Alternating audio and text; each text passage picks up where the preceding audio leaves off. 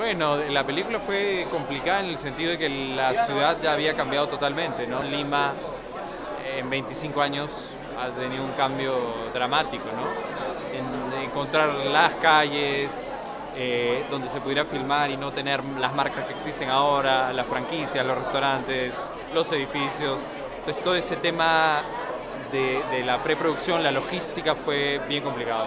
El otro tema es que teniendo, pues siendo una película de suspenso y de acción, hay persecuciones, hay persecuciones en carros, todo ese tipo de cosas todavía en el Perú son complicadas de, hacer. ¿no? Te diría entre eso y, lograr dos personajes potentes, con una dimensión humana que, te enganchen y que te logren finalmente conmover, que creo que es lo que todo director quiere. ¿no?